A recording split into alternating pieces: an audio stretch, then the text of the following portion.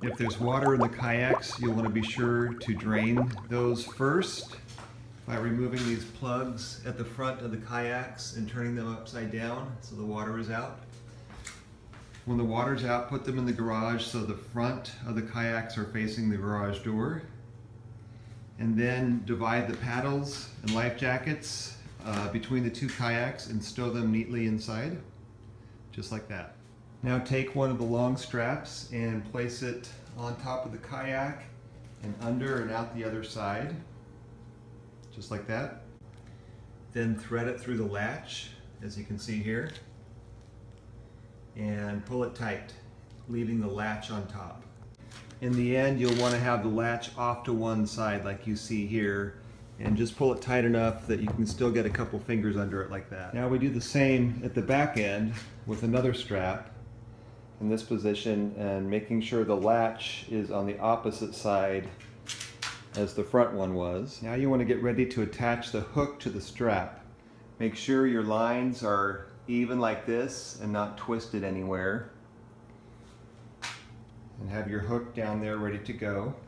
And then slide the hook all the way under the strap and have these on top of the hook. So the strap is going through the middle part and these are on top. That's what it should look like when you're done. And then same in the back, make sure the lines are straight and not twisted. And then we have the same uh, strap connecting to the hook in the back here, just like that. But don't, uh, don't bring it up yet. We're gonna tie the straps down. Once the hook is under, tighten the strap. So you have to grab both straps and get that as tight as possible. It Doesn't have to be overly tight.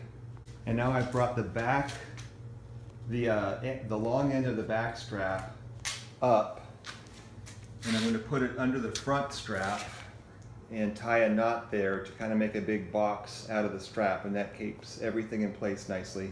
You can use a, a slip knot just like I did there so that way when you go to untie it you just pull on the loose end and it'll come undone. So same as the back, pull the front strap, in this case the blue strap, nice and tight and then put the tail back um, towards the uh, strap in the back. As you start pulling the kayak up, the front will go up um, higher than the back. And so when that happens, you can just push down on the front and keep on going. So just as it's going up, try to keep it uh, semi-even. You can see here it's uh, almost all the way up. So for the final position, you can see the back um, pretty much is as high as it can possibly go up there. And in the front, um, you want to let it hang down a little bit because the garage door needs to go above the kayak when it opens. So just like that.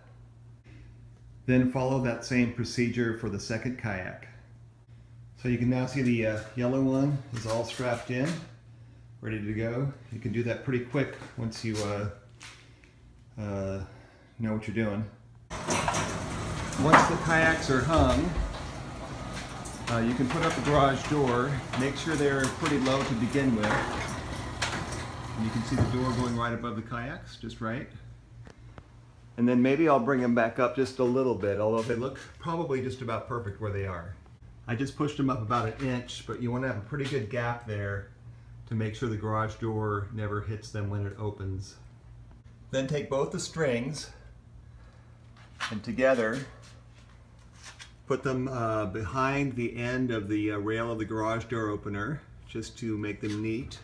Bring them down over the cabinet and then start uh, wrapping them around the hook here like this, back and forth, back and forth. After a little back and forth, you can just go in a big oval, nice and quick, until all the string is accounted for. And at this point, uh, you are done.